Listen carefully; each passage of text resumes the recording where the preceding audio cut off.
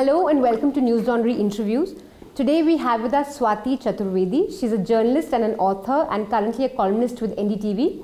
Previously, she's worked with The Statesman. She was in the Special Investigative Bureau of Indian Express. Uh, she's worked as a deputy editor with Hindustan Times and Zee News. And she's to anchor an interview show for Zee News called Kahiye Janab.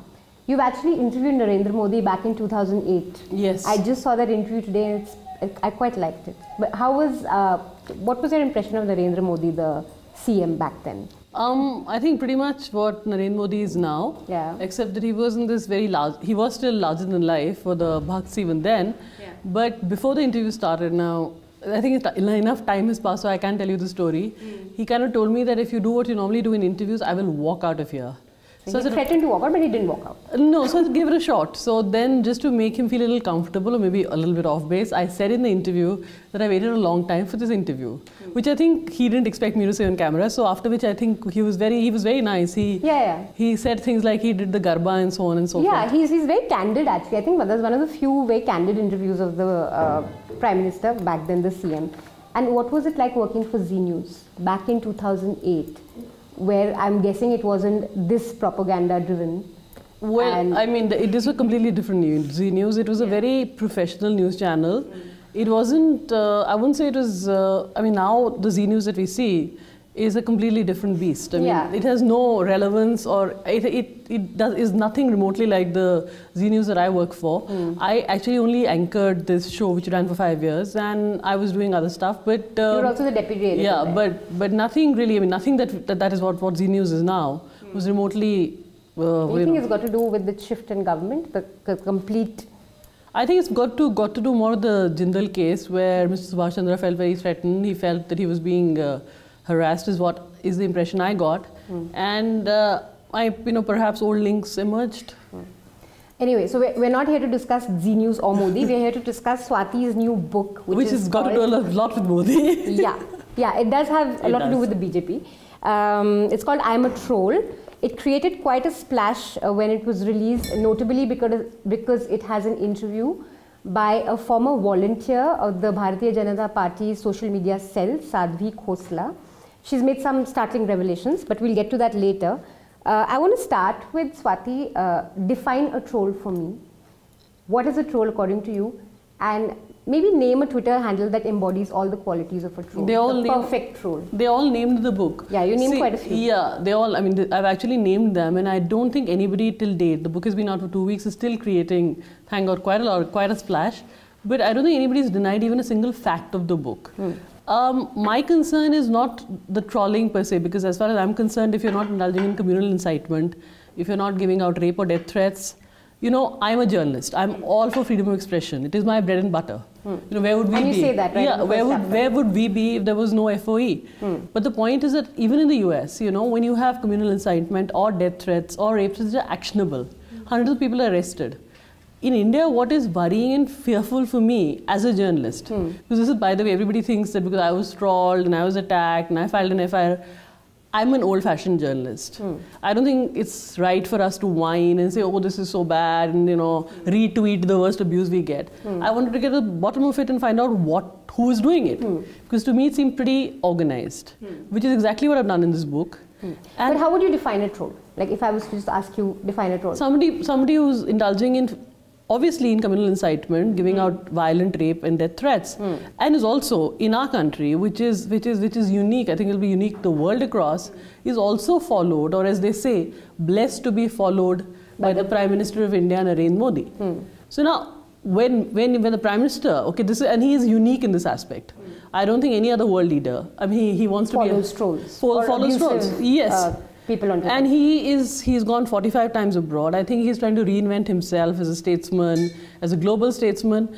And to me, it's strange that he's cuddling up to all these loathsome people hmm. who are out there only to you know put out fake cow slaughter videos, hmm. do fake Pakistan propaganda, and worse, make death and rape threats. yeah, you've actually mentioned a list uh, of people that the Prime Minister follows and you've looked at the kind of tweets these people... I've, I've quoted the, Yeah. tweets as well. We can't Yeah. repeat that because yeah, we will repeat that. But anyway, let's start with you know you start off uh, the book with your own experience as a woman journalist yes. at the receiving end of abuse. You say uh, uh, that you were systematically targeted for about six months. This was by a handle called Lutyens Insider. You say that each day I would wake up to hundreds of notifications discussing my rate, last night's amazing anal sex, and the fictitious tryst where I, the nymphomaniac, could not get enough and was begging for more. Yes, that was me being described in a public medium for posterity, my 20 year old professional career, which I take huge pride in, reduced to slander. You say that there was a base quality to these attacks, a hateful sexism that I had never encountered in all my years as being a reporter. Absolutely. You filed a first information report against this handle. Yes, I did. What happened to the case? Well, in one word, absolutely nothing. For because again, this was a first of its kind thing, so there was a huge uproar. The handle first ran away when the FIR was filed, and then Twitter suspended the account. Um, the police, they even gave the police, which is quite rare for Twitter, they gave them the IP address. The police, this was in Vasant Vihar police station, police told me they had tracked the handle down. Okay. So they After which they knew they, they've told me I can't I can't repeat it to you because you will get into Is it a is it a is it a group or is it it's an individual who has very very close links with the ruling party. Okay? And it was a very and it's organized. a man, I'm guessing. It is a man, and it was not just me being attacked. It was also uh, Mihir Sharma. It was a gossip handle Mm, yes, and saying no, no, no. It was very, it was very poisonous and insidious because you know he would say things like, "My editor wouldn't let me do a story of somebody pissing on a Hanuman idol," and he had forty thousand followers. He ran a campaign called "Simon Come Out" about Mihir Hmm, Yeah, Sharma. about me. Yeah. So you know, it was a really poisonous, vicious. Hmm. ri- uh, he was targeting, you know, Rajdeep and Sagarika. I think were the Hmm. most attacked people on Twitter. But I mean, everybody. So my point is that you know we deal with as a journalist we deal with facts. We Yeah. deal with legally defendable facts. All my life Yeah. I've reported facts. I, I am willing to go to jail to protect a source. I'm also willing to go to court to defend a story. Hmm. Here was this was so ludicrous. I mean, a person is just making up stuff, and he has forty thousand handles. And is that going to be the narrative about me? Why? So tell me, so you filed the FIR, the police knew, but nothing happened. Why? Why do you think there's Because- because they know who this person Because is? Because obviously he's got the blessings. Maybe he's blessed also to be followed by the PA. He clearly has the hmm. blessings of the ruling party. Hmm. Because tell me, why would the police not act when they have the name? Hmm. And these were all very. These were criminal sections which the FIR was Yeah, registered yeah. against. Online uh, sexual harassment. sexual harassment. The first case also, yes, also transmitting obscene material digitally, uh, also stalking, but nothing happened. nothing has happened. okay. Yeah, and nothing has happened even till date. I believe he was very terrified initially, but now he must be, you know, kind of reveling in it. Yes. gone. Yeah. So um, I was reading your book, and my favorite, uh, the chapter that got me most interested was uh, I am a troll. The Yeah. chapter which is I am a troll, where you say that you've interviewed about 30 trolls. Uh, and you've put down interviews with three trolls. You name them as troll one, troll two, troll three. Uh, tell us about these people. How did you meet them? Uh, what is their mental makeup like? Uh, what do they think when they're doing all this? When they're abusing people, or when they've made basically a job out of attacking hmm. people online? Manisha, I've been a journalist for 20 years, so I've been covering the BJP hmm. for a long time. Hmm. This is not the BJP that used to be the BJP of Atal Bihari Vajpayee. Yeah. This is the new BJP is a is a is a completely different creature. It's a creature of Narendra Modi and Amit Shah. So I met these people, and to me, the most surprising or the most horrifying thing was how ordinary they were. I mean, they look at abusing, death threats, rape threats as as something which is all part of a day's work. It's, It's a like a nine. thing. It's a nine. It's a nine to five job. You get paid to abuse. I mean, for So some all people, these people were paid. They're all on the payroll. I mean, listen, none of them wanted to be very candid about that. Hmm. But I mean, would you really spend 24 into 7? Wouldn't you?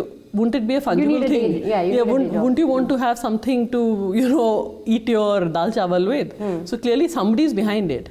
But yes, they were very, very, they, they do really believe that there is a secular prostitute conspiracy, Hmm. which is, you know, it's strange. I mean, Modi is completely, in, he's got a majority, he's the prime minister. They still have a persecution complex about the media, about what they think are all these, you know, leftist controlled institutions. So it's a, it's a. In fact, that is one thing that I felt was common through the three interviews. Mm-hmm. There was a lot of disdain for the media mm-hmm. and for the left, which they feel that their their voices haven't been heard. I think it's a very culty. I think it's a, it's almost like it's like a, almost like a cult, you know, mm. where you have to believe these things. These are real articles of faith for these people. Mm. You know, the media are secular prostitutes who are hiding the real truth from everybody. You know, there is a whole conspiracy of silence regarding the minorities. We cover up news. We do, you know, things like what about Malda and all that nonsense happens because of that. Hmm. They are very, very clear that the media is being you know sold to some Zaitian whatever. They think there's a huge conspiracy, basically. Okay, so the conspiracy is quite grand, but do you think there's a grain of truth in some of the problems that they have with the mainstream media? In that that we have ignored the right or right-wing voices for a very long time, or that they haven't had Yeah. enough space. I want to say one thing here. See, right wing does not mean right uh, what it means the rest of the world in India. Right wing here means having kind of a license to be bigoted about minorities, about to be women. socially Yes, about to be very, very not conservative, uh, obnoxious at times. what they call themselves sanskari, you know, garvit Hindu. Hmm. Now, I don't think that's right. You know, right is a whole different connotation. I think we're being very lazy hmm. because people are not right wing in any other way. Hmm. They have no right wing economic beliefs. The only beliefs they do have are bigotry. They have a huge chip on their shoulder about women, minorities, hmm. and what they feel. You know, it's like while they they feel they have a persecution complex, they're actually actually persecuting other people, hmm. which we've seen in you know we see Rohit Vemula, you see JNU, hmm. you know you see any institution. I mean, they are in charge and they are still and they're still angry. They really and what I really what I what what really scared me was the amount of anger they have. They, were they angry when you met them? Like as Hugely, people, were they? Did they have the aggression? Oh yes, Were oh they- yes. They were they are they are really really angry.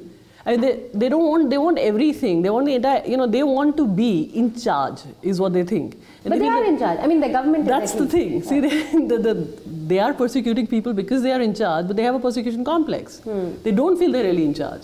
They feel that you know Modi should have another 20 years so he can they, he can make you know the Akhand Bharat, not Akhand maybe because of the geography, but the Akhand Bharat of their dreams. So, but these 30 trolls that you met, they were all affiliated with the BJP's uh, social Oh, media. absolutely. side. All of them. All None of of them were just guys sitting at home doing this because they really felt for. I don't think so because one of them, the most interesting one to me was the one from Bihar, hmm. who actually said that uh, he had kind of, you know, he had also believed in it very fervently. But we, was, we, I did the interview in the North Campus, and he said there were all these flies and cows, you know, hmm. North Campus in a Yeah. small tiny restaurant.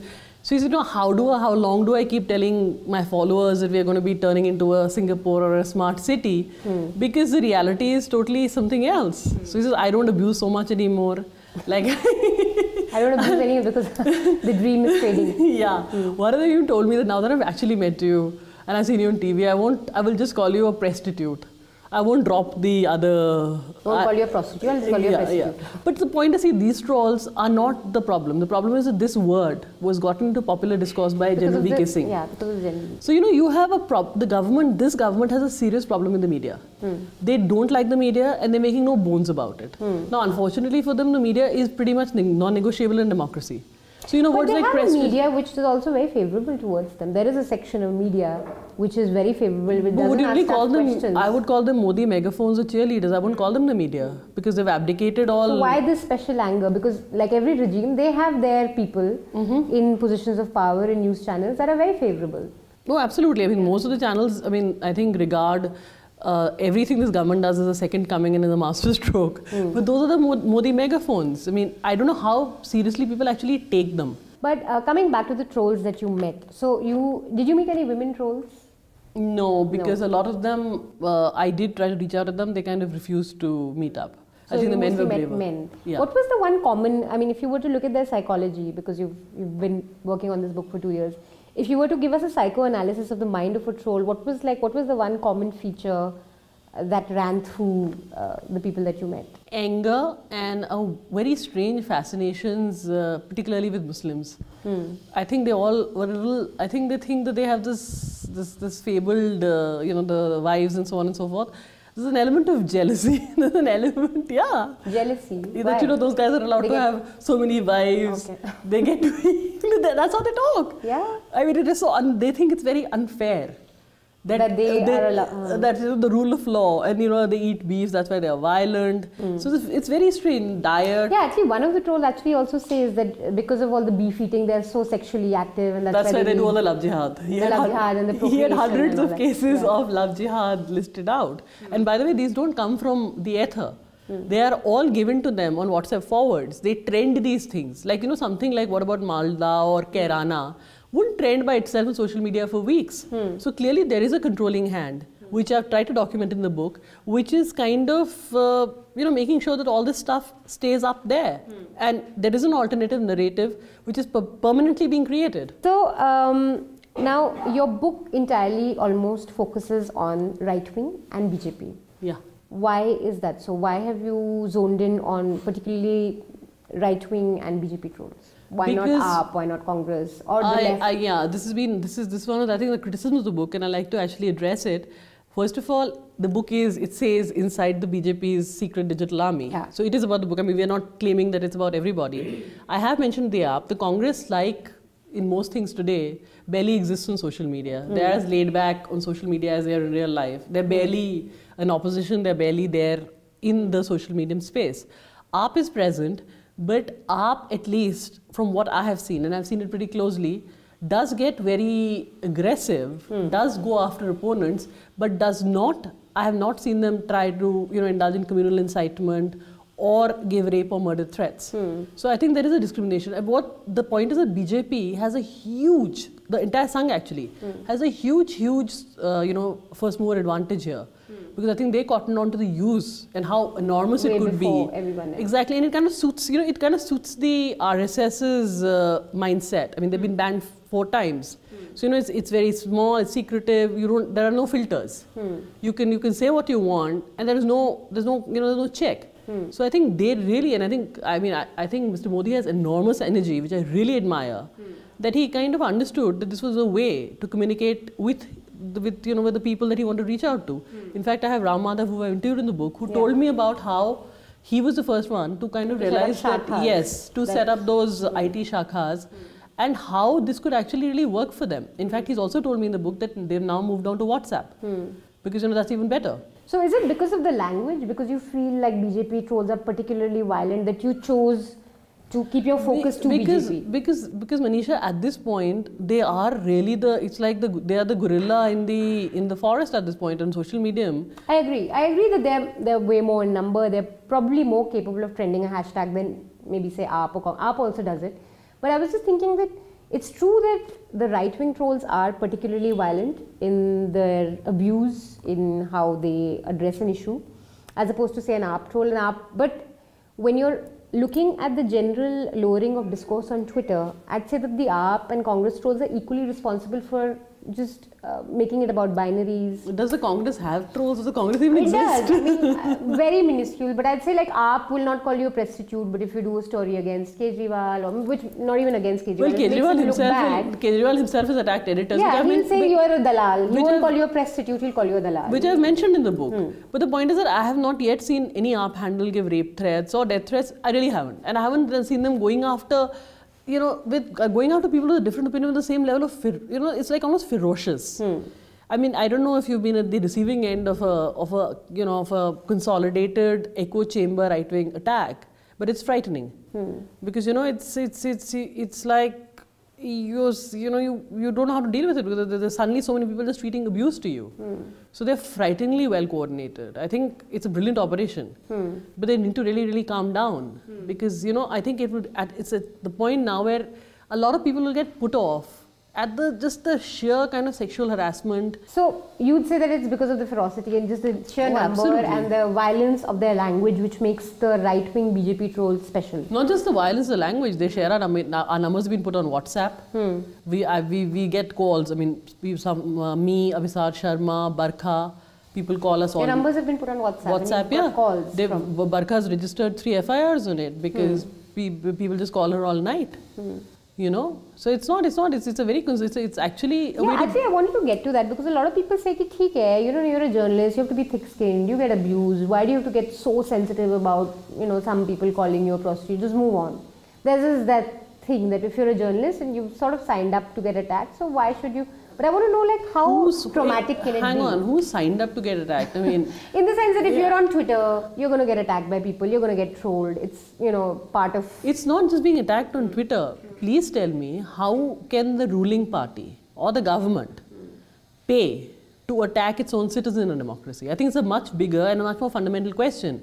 I'm not talking about your straight role calling somebody a press prostitute. I'm talking about an organized attack of attacking people, citizens. Okay, it doesn't matter if you're a journalist or not. I'm, I'm a citizen of India, right? Yeah. So why should my government, okay, my prime minister, a, a party which is subscribed to the constitution of India, which is the Bharatiya Janata Party, hmm. pay to get certain individuals attacked? Hmm. pay to bully them, pay to intimidate them? I mean, to me, it's a very fundamental question.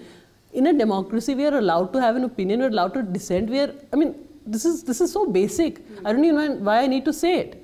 It's not, it's not a question about having a thick skin. Hmm. It's a question about the fact that why should the government do this to its own citizens?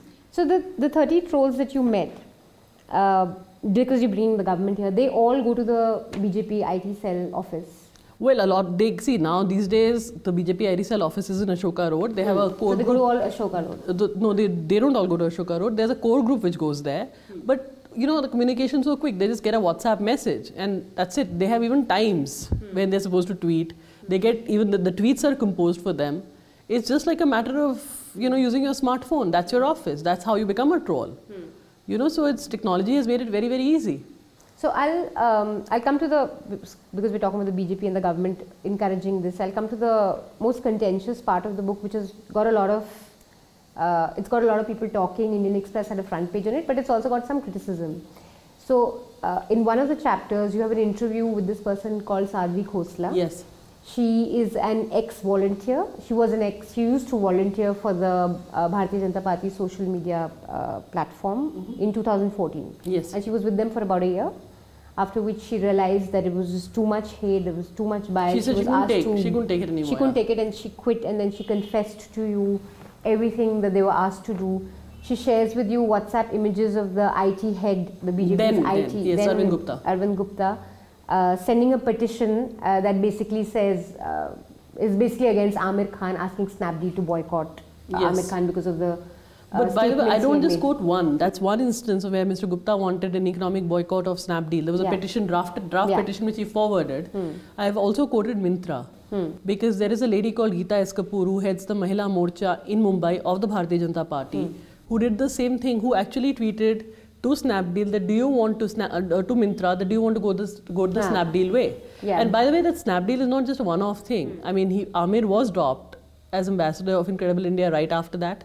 That was obviously not by Twitter. That was the government of India. And Manohar Parrikar, who's the defense minister, went on record to talk about, boast about Kind how. of hinted that no, he didn't hint. He was open. He said our smart, our smart, our smart people, uh, you know, ensured that that actor learnt a lesson. Hmm. So now, why is the defense minister of India in the business of teaching any actor or any Indian citizen a lesson? Hmm. You know, these are really, really things that really bother me, and I'm surprised this story was waiting to be done. Hmm. I'm still shocked that nobody else did it. But you know, a lot of people believe that because uh, Sadhvi Khosla, because of her Congress leanings, not leanings, but her family is a big, you know, a long time Congress loyalist. But I mean, this Because again, she's quit. isn't this very There's strange? an element of doubt. Like, why should we trust her? No, but tell me, no, no, d- don't trust her. I mean, let let's dis, let's discount Sadhvi Khosla completely. But the, can they deny the facts? Can they deny those WhatsApp forwards? Can they deny the fact that she was part of the BJP SM cell? That she was one of the three people in India chosen for a Google Hangout with Ram Madhav? Can they deny that she held Chai Pe Charcha three events in her home? Can they deny that she campaigned for Kirron Kher in uh, Chandigarh?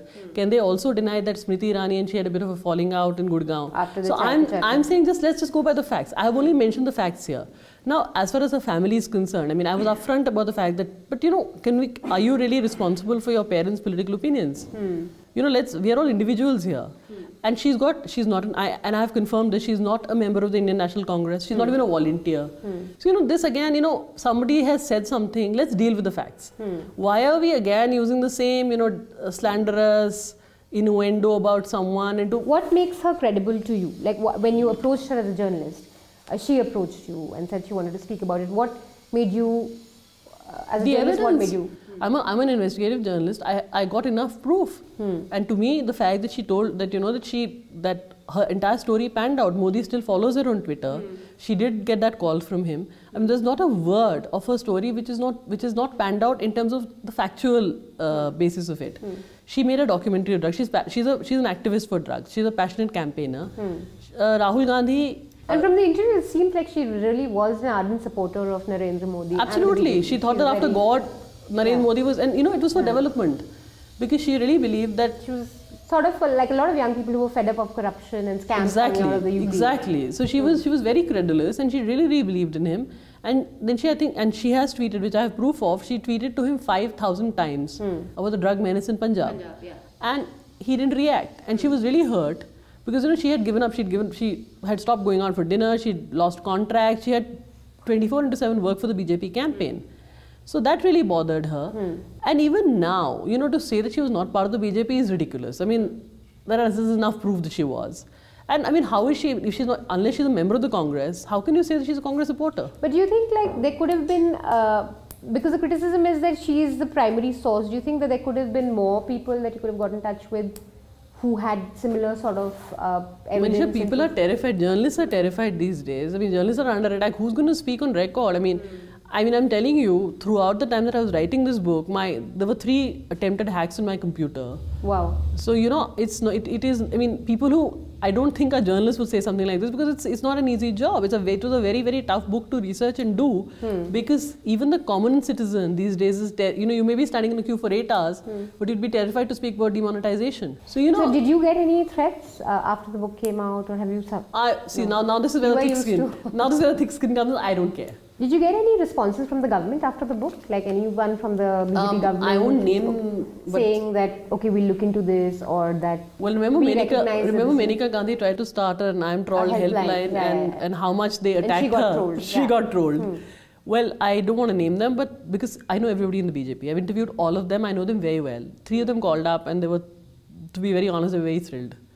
Oh, because they were happy that this they were come out. happy that this is because this is something this is like a bit of an open secret Hmm. it is a very dirty secret but it's also an open secret so they were happy that it was out in the public domain that you know all this opinion which is you know the whole country the, the whole country the heroes of bhakti is not really true it is very very manufactured Hmm. So, they were actually happy that it's they were come out. actually happy Now, uh, you know, you've uh, listed out trolls in your book that are abusive, anonymous, uh, that tweet out some of the most vile things. Uh, you've also uh, then talked about, in the same breath, you've talked about people like Preeti Gandhi, Tajinder Bagga, who beat up Prashant Bhushan Rahul Raj of OpIndia. Now, a lot of people may say that, look, uh, these guys aren't anonymous. Uh, Preeti Gandhi, the likes of Preeti Gandhi aren't really abusive. You may not agree with what they're saying, but I, I don't know. I mean, I've never seen a tweet of hers which is very, very abusive. And uh, so, a lot of people have this perception that just because someone doesn't agree with you, the left or journalists I've quoted should I quote you what Rahul should I quote you what Rahul Raj tweets out so what I'm saying that it's not correct. I'm not saying that it's right to be uh, putting out propaganda which is specifically hateful and insightful. But there is criticism of journalists of so-called left libs that you will dub everyone a troll whose ideology doesn't suit yours or whose ideology with which you don't agree. If somebody, Is if, that- if, I don't do think you find true. any merit in that? I don't find I find zero merit in that. If somebody like Shobha Ray tweets out a condolence message, and this gentleman says that you haven't, Hmm. yeah, you haven't had sex for the longest. Something and something not not like that, something Yeah. Hmm. even much more explicit. So I don't think that's an ideology. I think that's just sexual violence and harassment that you're expressing. What I, what ideology is uh, sexual harassment, death threats, and rape No, no, threats? for sure, not that. I'm not talking about people like that. I'm talking about people like Preeti Gandhi, okay, Uh, I'll come to Preeti hmm. Gandhi. Preeti Gandhi, if some woman is being attacked and trolled, says things like, if you can't stand the fire, get out of the kitchen. Hmm. She did that entire fake WikiLeaks endorsement Hmm. of Narendra Modi. The BJP disowned her then. And she's back. I mean, any That's person. what I'm saying. It's no, not any- any- abusive. any- it's stuff no, that we may not agree with, but no, but I mean, fake. I mean, hmm. you you you you're touting fake things, and you're you're by the way, you're an office bearer of a political party, which is the country at the point. should be called out for sure. I'm But, the, but she, it's not being called out. Na? The hmm. Prime Minister is cozying up to all these trolls. That is my larger point. See, if Preeti Gandhi was just tweeting as a nobody, it's fine. But she has a position in the Bharatiya Janata Party. The Prime Minister follows her. So she has a large number of followers. And she says, you know, I love, you know, uh, something about Godse and the greatest Indian was Godse or... Uh, she, that, that again is her opinion. Anyway, but I was just wondering, what I wanted to know from you is that would it be useful to make a distinction between abusers, violent people who issue threats, and maybe say right wing people who have a certain propaganda or a certain ideology which colors their perception of what may be real and what may be not real? Well, I- Or you would like to club them together as trolls? Well, I would say, I would reckon that anybody, if somebody there's been a murder in Delhi and somebody sitting in Bangalore tweets that it's a you know some Muslims are trying to you know kill individuals and start and he's trying to incite a communal riot, I would definitely reckon he's a troll. PM knows that these guys are abusive because I, I was watching uh, the uh, NDTV show where there's an RSS spokesperson who tells you that listen, he just must have followed him once and then he doesn't keep a track of what these guys Well, do. uh, there is an RTI So petition. how does that- how do no, I know what- No, Do there you is- think there's- That was Professor Rakesh Sinha. He said, finally, he said that he, the Prime Minister follows these people because he wants to know their views. Now, I don't know what views about rape or death or violence anybody should want to know, first of all. Second of all, there's an RTI petition which the PMO has replied to saying that Mr. Modi manages both the PMO handle and the Narendra Modi handle himself. Personally. And I also know from my sources in the BJP that because of the fact that he has a distrust and a, a problem with the mainstream media, he's obsessed with social media. So I very much doubt that he's unaware of the kind of people he follows. My last question to you is about uh, as a journalist and as an author, you are somebody who is who seems to be deeply invested in this subject, who seems to have been affected by it. Uh, you have filed an FIR, you have you know received a lot of abuse. How difficult was it to keep your personal contempt, if I may say, for trolls? Um, when you're meeting them, when you're talking to them, were you able to at any point empathize with your subjects, or was it, or were you very clear about the fact that this is the line you take? Because your first chapter itself is pretty strong. It really comes out saying, uh, you know, things about trolls, and rightly so, about their obnoxious behavior. It's not, it's not really, you're not trying to put in a balancing act. You're pretty straightforward right on your first chapter. But when you're interviewing them and when you're approaching this as a journalist, how easy or difficult was it for you to It was uh, just another back? job. It was just another job. Just another story. See, I'm, I'm a journalist. I'm not an activist. I'm not a politician. But for me, the story's over. I'm glad it's got the kind of attention it has. Obviously, I'm thrilled. I'm thrilled with the sales. I'm thrilled with the fact that I don't think anybody's had this kind of you know wide publicity despite the Modi megaphones in the media. Hmm. But for me, the story is over. And for me, it was just another story, hmm. which I really wanted to find out. I really wanted to investigate and find out whether this was really an organized thing. For my, you know, I, I was curious. I think that's the basis of any journalism. Hmm. You know, curiosity impels us. And then I just tracked the story. And for me, the story really is over. You know, I'm not, uh, and I'm not, I still am not making value judgments. I just, the only point that I still want to make is that as a citizen as, as, and as a journalist, that why does the Prime Minister of India need to follow these people? Hmm. And why has he not even unfollowed them? And why can't he explain to us why he does it? Hmm. I mean, not that we have any press conferences and such things anymore, but I would, I would love to ask this even in a pre- uh, press conference. Did you make any friends with any of the trolls that you interviewed? Uh, one of them, yes. He called me in a, yeah. He Did called, you read the book? Did they read the book once Yes, it was one out? of them was in a huge panic. He called me and said that इतना ज़्यादा सब कुछ अब अब तो सब जगह आ रहा है अब तो मेरा नाम आ जाएगा तो I was like don't worry I promised you anonymity and I'm going to stick to it. Do you think it will shake anything up in the BJP social media cell? If I mean, do you think there will be uh, after this book some sort of uh, reckoning that okay, maybe we should go a little easy, or do you think they don't even care about? I think that the way I think their approach has been extremely brazen because they've not dealt with any they've not done any kind of factual rebuttal of anything I've said. They've instead done their usual slanderous, uh, rather in my case very stretched personal attacks. And in Sadhvi's case, they put out there's one picture of her with Rahul Gandhi inaugurating. And her, yeah. Singh, yeah. Yeah, so they've they've circulated that. she I mean- called him for an inauguration for of an a event in- documentary. yeah, yeah, So I mean, that's I mean uh, they've not they've not responded. I would have loved if they had actually responded with some facts and said that you know even one thing that I've written about is wrong. They haven't done that. It's been the usual lot that we get from the BJP, which is slander, you know, and insinuations and so on and so forth. And again, that's very organized. So I really don't care. Great, great talking to you. Thank you. All the best for your book. Thank you very and much. we hope there's a part two that also looks into like AAP trolls, Congress trolls, the world of trolls. I think the Congress needs to kind of get out of stupor to have Yeah. trolls. Congress trolls trying to learn how to be trolls. no, I don't think anybody should learn how to be trolled. Thank you so much for talking. Thank you. And thank you for watching. And remember, when the public pays, the public is served. And when corporations and governments pay, corporations and governments are served. So pay to keep news free and subscribe to Newslaundry. If you like that, click here to support us and down here to subscribe to our YouTube channel and do check out the other stuff we do like Newslaundry interviews, Why So Serious, animations, comics, panel discussions, podcasts which are really big and much, much more.